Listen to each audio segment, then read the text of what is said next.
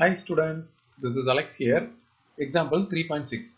The position vector of a particle is given by r vector கொடுத்திருக்காங்க. இதுல பாத்தீங்கன்னா 3t i cap plus 5t square j cap plus 7 k cap அப்படின்னு இருக்கு. Find the direction in which the particle experiences a net force அப்படின்னு கேட்டிருக்காங்க.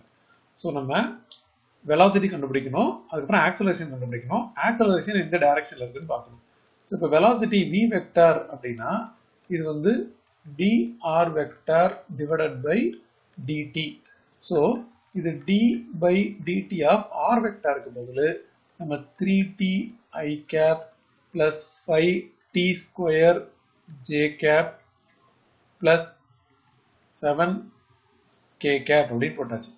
இப்போ ஒவ்வொரு டேர்மா டிஃபரன்சியேஷன் பண்ணுவோம் த்ரீ டியோட டிஃபரன்சியேஷன் த்ரீ நான் ஐ கேப் அப்படியே வந்துடும் ஃபைவ் டி ஸ்கொயர் அப்படின்னா ஃபைவ் இன்டூ டி ஸ்கொயர் வந்து two T differentiation formula apply பண்ணுறோம் அண்ட் இது ஜே கேப் இது வந்து கான்ஸ்டன்ட் அதனால மொத்தமாக ஜீரோ ஆகிடும் அப்போ டோட்டலாக நமக்கு three I cap plus ten T J cap அப்படின்னு இருக்கு.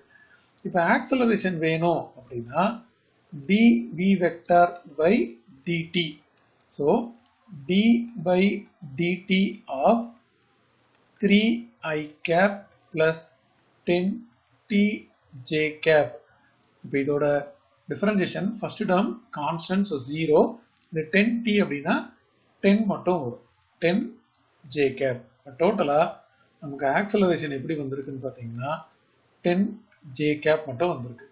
ஸோ இதில் நம்ம யூஸ் பண்ணிக்க basic differentiation formula X power N அப்படின்னா அதோட differentiation N X power N minus one இந்த ஃபார்முலாவை யூஸ் பண்ணியிருக்கோம் ஸோ இப்போ டி அப்படின்னா அதோட டிஃபரன்சியேஷன் வந்து ஒன் ஆயிடும்.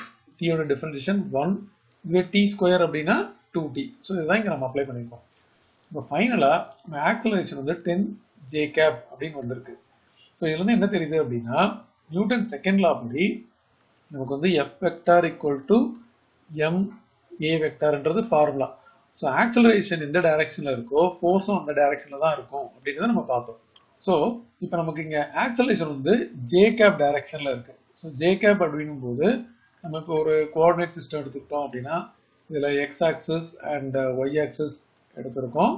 அண்ட் இதில் வந்து ஐ கேப் வந்து யூனிட் வெக்டர் அளந்த எக்ஸ் டைரக்ஷன் இது ஜே கேப் அளந்த Y direction so positive Y டைரக்ஷனில் ஆக்சலரேஷன் இருக்கு. அதனால for force acts acts along positive y direction அப்படின்னு சொல்லிடலாம். அடிஷ்னலி நீங்க இந்த வெலாசிட்டியை பார்த்தீங்கன்னா நமக்கு வந்து ஒரு இன்னொரு இன்ஃபர்மேஷன் கிடைக்கும். ஸோ இந்த வெலாசிட்டி வெக்டார்ல வந்து நமக்கு I cap and J cap இருக்கு. அண்ட் uh, இது வந்து கான்ஸ்டன்ட் அண்ட் இந்த இடத்துல வந்து கே கேப்பே இல்லை. ஆக்சுவலாக இல்லைன்னா இது ஜீரோ கே கேப் அப்படின்னு அர்த்தம். ஸோ இது கான்ஸ்டண்டா இருக்கு இது ஜீரோவா இருக்கு. அப்படின்னா என்ன அர்த்தம்? No net force along X and Z direction அப்படின்றத நம்ம சொல்லிடலாம். Therefore no net force acting along x or z direction வெறும் ஒய் டைரக்ஷன்ல மட்டும் தான் இருக்கு அதுவும் பாசிட்டிவ் ஒய் டைரக்ஷன்